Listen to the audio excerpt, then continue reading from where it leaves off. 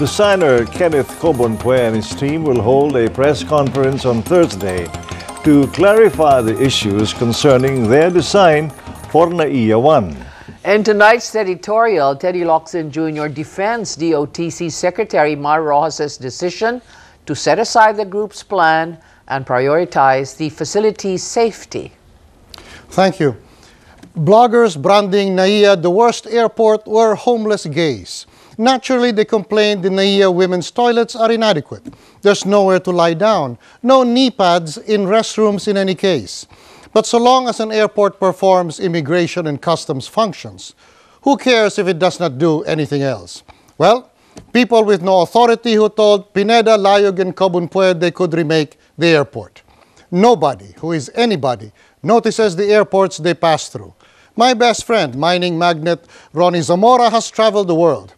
After immigration, he says, the airport is just a blur when Ritz, Four Seasons, Mandarin, or Shangri-La whisk him away.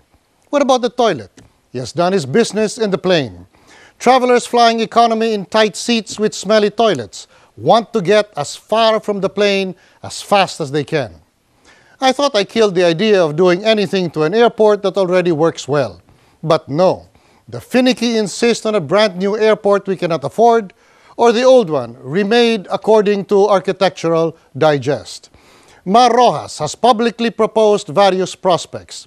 He publicly considered a brand new Changi scale airport in Pampanga. He publicly talked of selling NAIA to pay for the same.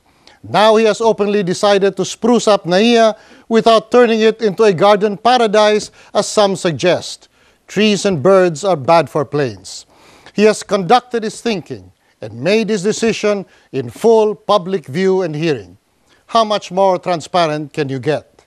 Locsin made the airport, who best can restore its original state? Come now, Cobonpue, Pineda, and Layug. Three famous interior designers and furniture makers. Layug pioneered in postmodern furniture. Cobonpue designed Angelina Jolie's baby's bassinet. Pineda has his admirers. They have been working eight months on a redesign and redecoration, redecoration of the airport with plenty of shrubs. Why? No, not the shrubs. But why did they do the work? They had no contract or even formal contact with former DOTC Secretary Ping De Jesus or his successor today. Who put them up to it? The three designers fingered but did not name cabinet members with no connection to DOTC or the airport.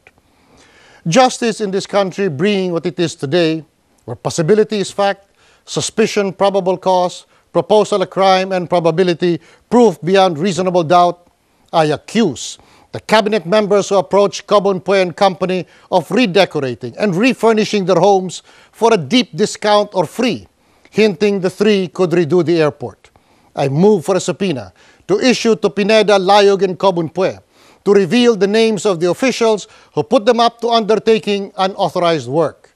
I move for search warrants to look for furniture coming from Pineda, Layug, and Cobonpue in the homes of these cabinet officials. I move for a subpoena duces tecum for documents showing deliveries of deeply discounted or donated furniture to them.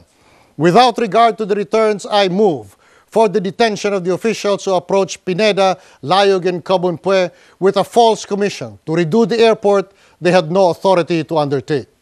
I want a watch list, whole departure order on these furniture-avid cabinet men in case they escape with the furniture.